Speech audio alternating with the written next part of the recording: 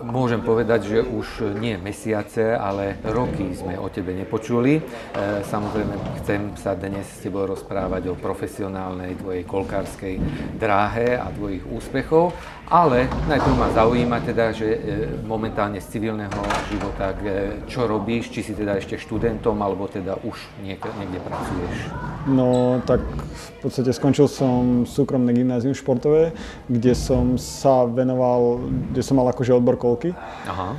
To také existuje, tak áno, povedzme aj kde. Áno, bolo to v Podbrezovej. Podbrezovej. Mhm. Keďže my sme nemali ešte vtedy kolkáren, keď som ja išiel na tú strednú školu, tak e, prestúpil som tam na, stred, na strednú a škola mi to umožňovala popri teda trénovať a venovať sa tomu. Mhm. Takže trénoval som tam, hrával som vtedy za Žarnovicu a v podstate školu som ukončil v 2019, kde som sa potom zamestnal a popri tom sa venujem kolkom. Takže už teraz teda normálne pracuješ a, Áno. a ešte teda Popri tom mám ďalšie, no tak to bude jasné. Športovú kariéru. To o tom bude náš celý dnešný vlastne rozhovor. Ma ešte teda zaujala tá škola, že také vôbec niečo existuje, čiže v tej škole sa dá, sú tam odbory a je tam aj takýto odbor, že koľky, či Áno, ako my sme, to funguje? My sme v podstate mali, my sme boli zmiešané, zmiešané triede športovcov, kde bolo viacero akože odborov. Bol som tam jediný kolkár, mal som spolužiakov biatlonistov, mal som spolužiakov futbalistov, aj hokejistov, aj karatistov, takže my sme boli takí zmiešaní mm, v podstate z celého Slovenska. A bolo to dobré v tom, že tá škola nám umožňovala popri, popri tom sa rozvíjať v tom našom športe, takže mali sme kopu tréningov, mali sme kopu tých fyzických aktivít, rôznych kondičných tréningov. Škola mi dala veľa, aj mimo tej mojej športovej kariéry, takže som veľmi rád, že teda v Podbrezovej mi to bolo umožnené mhm. A mohol som sa tam zlepšovať a čo po tej škole, keď je teda vyjde takýto študent, tak je čo profesionálny športovec? Akože no, tam už sa ráta s tým, že pôjdeš, dostaneš to, trénera a... Je to, ani nie, v podstate je to iba športové gymnázium. Uh-huh. Je to ako, klasické, ako klasická škola len s tým, že máme, sme zohľad, uh-huh. sme, trochu nám zohľadňujú to, že v podstate máme tie zápasy, máme tréningy aj počas školy, takže mne sa koľkokrát stávalo, že ja som do obeda nemal školu, ale bol som na tréningu a v podstate mal som tú športovú prípravu. Takže mm, bolo to len zohľadňované trochu a Čiže máš skrátka klasické áno, gymnázium, áno, dalo by sa povedať ukončené s maturitou, tým, maturitou a momentálne a... pracuješ. Áno. Mhm, dobre, ale hneď si povedal, že ty sa tomu ďalej venuješ. E, skočme teda rok, dva dozadu bola teda situácia taká, ako bola, no. teda naražam na, no, na, na koronu, teda e, čo si ty robil počas korony, asi teda súťaže neboli žiadne, predpokladám, tak aspoň si trénoval? Je, áno, keďže tie pandémia nám to trošku zhoršila, ja som sa aspoň ako tak snažil individuálne chodiť na, na ten tréning a trénoval som teda na kolkárni, samozrejme popri tom som chodil aj na ostatné aktivity ako v rámci posilovne, v rámci behania a nejakých takýchto vecí, takže ja som v podstate nemal žiadnu prestávku športovú, mhm. stále, som, stále mi to bolo umožnené, čo som ja, za čo som ja veľmi vďačný. A v podstate mohol som sa stále venovať tomuto, ale teda len v tréningovej no, fáze, no, predpokladám, že teda... v podstate bolo, nám hneď ako, ako toto prišlo, tak e, naša liga bola, bola zrušená, prestalo sa hrať. Väčšina kolkárni aj prestala trénovať, lebo v podstate nemohli. Takže ja som bol aspoň teda v tomto vďačný, že som mohol aspoň sa tomuto ja individuálne venovať, ale tá prestávka bola dlhá a je to teraz cítiť. Ešte stále. E, u koho alebo za koho si v tom období Keď som e, skončil v podstate zo školy, tak stále som hrával za Žarnovicu, hrával som za mužov. E, kde hráme najvyššiu slovenskú ligu, alebo teda hrávali sme najvyššiu slovenskú ligu. A v podstate potom,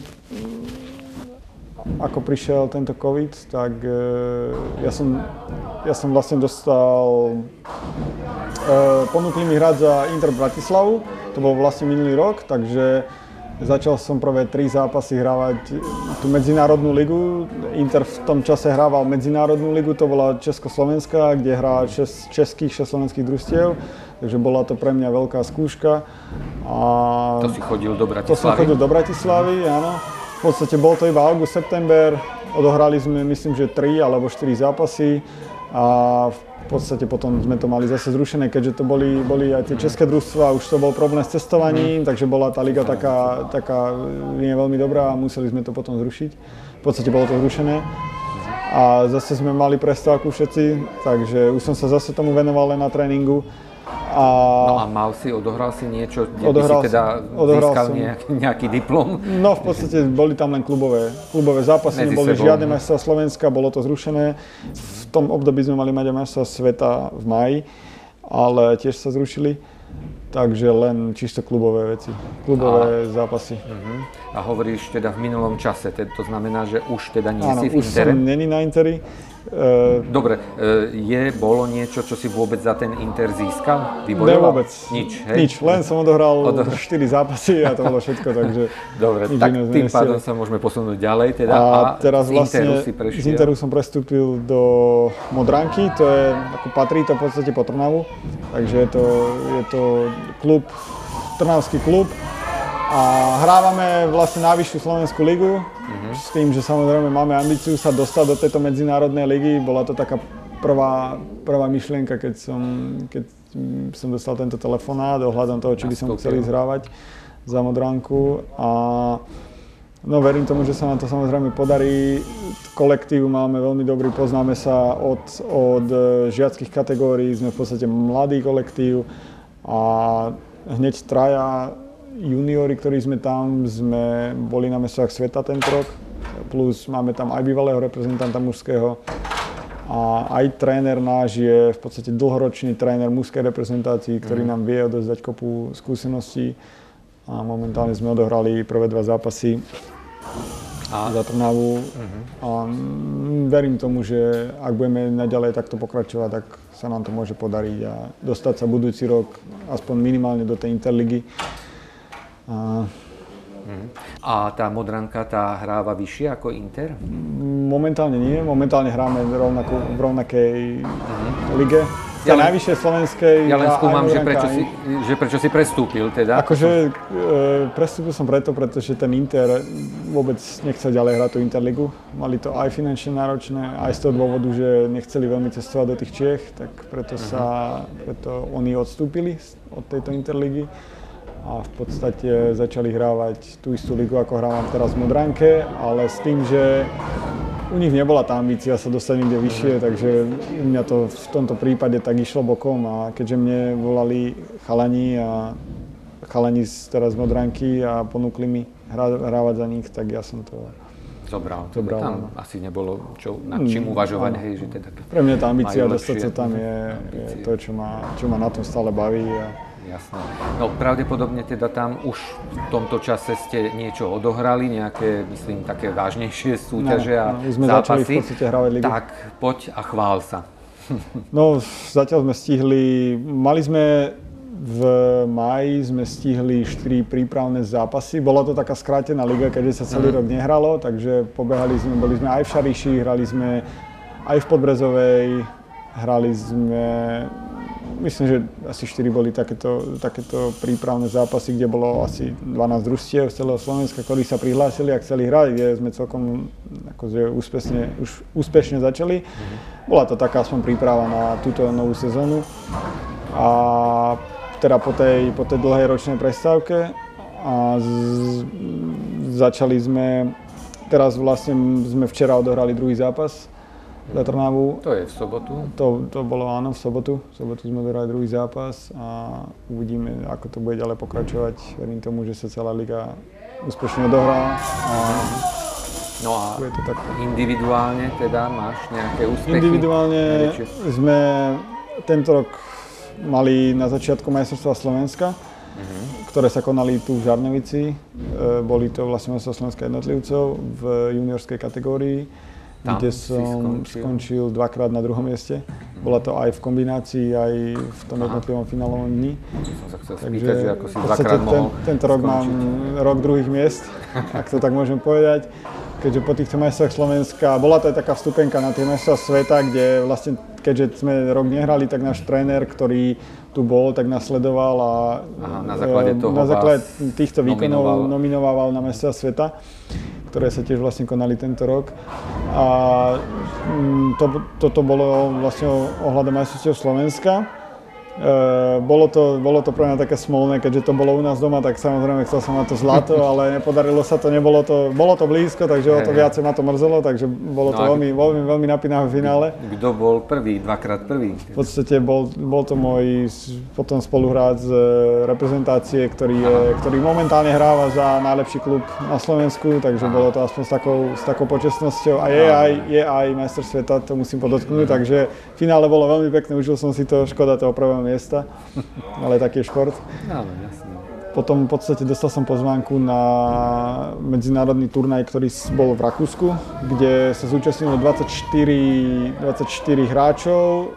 Viac menej všetci boli, všetci boli, ja som tam bol jediný Slovák, takže mm, bolo to začiatkom leta, mhm. a kde som teda obsadil tretie miesto. A boli tam momentálne najlepší hráči Rakúska, čo mňa veľmi tešilo, že som sa medzi nich dostal a bolo to, bol to veľmi dobrý turnaj, takže tiež som si ho užil. Čiže tam je tiež, Čiže tiež je to pri všetkej to, počesnosti, áno, že áno, teda jasno. to nebolo s niekým len takým, áno, že si áno, skončil to, na treťom boli mieste. Ale boli tam predo mnou, boli vlastne dva najlepší hráči, ktorí, ktorí hrajú v mhm. Rakúsku. Aj samozrejme v tej mužskej reprezentácii. A najväčší môj individuálny úspech bol, boli mesta sveta, ktoré sa konali koncom leta v Slovensku. Uh-huh. Bolo to mesta sveta aj družstiev, aj jednotlivcov. Tie mali byť už minulý Áno, rok? ktoré mali byť minulý rok, bolo to posunuté a zo začiatku to, som sa to, trochu toho obával, pretože nemalo to takú svoju, ten, tú svoju atmosféru mestského sveta, keďže na každé mesto sveta musí byť iná kolkáreň. Aha ktorá je. Je to už dlhoročne takto zaužívané, že pred každými mestami sveta, ktoré bývajú každý rok, sa postaví nová kolkáreň, aby teda nikto nemohol mať e, nejaké Aha, pripomienky, že, že niekto že... na ne trénoval áno. a niekto nie. Takže v podstate bolo to už na existujúcej kolkárni v Slovensku, uh-huh. čiže o toto bolo také zaujímavejšie, ale myslím si, že na to všetko sme dopadli ako Slovensko veľmi dobre. V podstate prvý deň sme mali mesta sveta družstiev, zúčastnilo sa tam 10 krajín 10 eh, krajín z tých asi momentálne, čo patrí medzi tú špičku na, v kolkoch, takže mm. tiež to bolo veľmi také, také natesno všetko. A skončili sme my ako Slovensko na 6. mieste, ako družstva. Mm-hmm. A postupovali sme 24 najlepších hráčov, postupalo do finále jednotlivcov, kde zo 60 účastníkov eh, zo Slovenska sme postúpili traja, bol som tam aj ja a ešte teda dvaja spoluhráči ktoré v finále sa konalo posledný deň a ešte medzi tým tie 4 dní, ktoré sme boli v Slovensku, sme mali rôzne iné disciplíny a mhm. rôzne kombinácie, ako sme hrali, kde sa mi teda podarilo získať e, striebornú medailu. Takže mm, aj som bol samozrejme veľmi spokojný, že mhm. sme stadiaľ niečo doniesli, takže v kombinácii som teda môžem povedať, že vicemajster sveta. Uh-huh. Bolo to veľmi blízko, tiež vlastne hrali sme v finále proti Nemecku a veril som tomu, že ešte to nejako môžeme vyhrať, ale tiež boli to no tiež veľmi... Kto? Kto teda zvíťazil? Kto je majster sveta? Zvíťazili Nemci v tomto Nemci. prípade, uh-huh. áno, áno. Ale tak samozrejme aj tá, aj, aj tá strieborná medaila nás potešila. No tak určite. Máš rok, ah. rok druhých miest, sa nevidí. Áno, áno, áno. Ale Takže, to sú, toto sú vzácne. No jasne, je to, je to medaila z sveta, ktorá je, ktorá je veľmi vzácna. A v podstate v individuálnej kategórii som skončil v tej finálový deň na 10. mieste. Uh-huh. Takže tiež je to pre mňa, bol to celkom taký dobrý úspech, ktorý, vďaka ktorému sa môžem odkopnúť do tejto novej sezóny. A ako Slovensko v počte medailí sme skončili celkovo na 4. mieste, pretože mali sme tam aj rôzne iné kategórie, boli tam s nami aj, aj ženy, ktoré získali medaile. Máme aj mesterku sveta, takže myslím si, že bolo to pre nás ako Slovensko veľmi úspešný, veľmi úspešný po koronový rok. Áno, áno. že, dobre, niečo si teda už e, začal čo, s novou sezónou, tak neviem, či nejaká začne nová sezóna, lebo sa blíži tretia vlna, alebo no, už je tu. Dúfam, že to tak nebude a že konečne už aspoň túto, túto sezónu odohráme. A v podstate začali sme, zatiaľ je to všetko bez nejakých rôznych opatrení, ale tak verím tomu, že naďalej budeme takto pokračovať a No a máš niečo, kam už teraz vieš, že ideš najbližšie? Momentálne sa môžem, môžem tak povedať, mali by sme mať v maji mesa sveta v Estonsku. Mesa sveta... Čiže až budúci rok. Až budúci rok v maji, 2022 by to malo byť v maji, takže je to v podstate takáto, už verím tomu, že pomaly začíname to prípravou. Ešte samozrejme v lete som absolvoval rôzne reprezentačné zrazy, takže bol to, bolo to celkom také leto nabité, čo sa týka tých koliek, takže po tej teda dlhoročnej, mm. dl, dlhšie prestávke. Asi sa to všetci snažili pomaly, nabiť do toho áno, leta medzi, medzi koronovými. A v podstate teraz uh, už pomaly začíname takú prípravu, už viem o nejakých reprezentačných zrazoch, ktoré nás čakajú a mohli by sme sa pomaly pripravovať na tie mesta sveta v Estonsku, takže verím tomu, že už tie stadia sa podarí nejaké medaile doniesť. Tak dúfajme, no tak doniesol si aj, aj tento rok, ale tak dúfajme, že keď toto bol rok druhých miest, tak budúci rok takto s tebou budem robiť ako s majstrom sveta. No bodaj by sa tak bolo. tak fajn, tak budeme ti držať palce a ja ďakujem za informácie a rozhovor.